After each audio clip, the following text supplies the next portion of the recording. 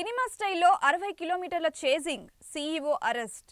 అరవై కిలోమీటర్ల వెంబడించి మరీ అరెస్ట్ చేశారు. సంచలన రేపిన ఈ వ్యవహారం ఢిల్లీలో వెలుగు చూసింది. గురుగ్రామ్కు చెందిన Parsvnath landmark developers CEO Sanjeev Jain యూపీకి చెందిన ఆయన ముప్పై రెండేళ్ళ నిర్మాణ రంగంలో అనుభవం గడించారు.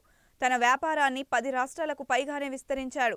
అయితే సంజయ్ జైన్పై జాతీయ వినియోగదారుల కమిషన్కు చాలా మంది ఫిర్యాదు చేశారు బాధితులు. ఈ క్రమంలో కమిషన్ సంజీవ్కు వారెంట్లు జారీ చేసింది. ఆ తర్వాత పోలీసులు అరెస్ట్ వారెంట్ ఇష్యూ చేసింది. వీటికి ఆయన స్పందించిన దాఖలాలు లేవు.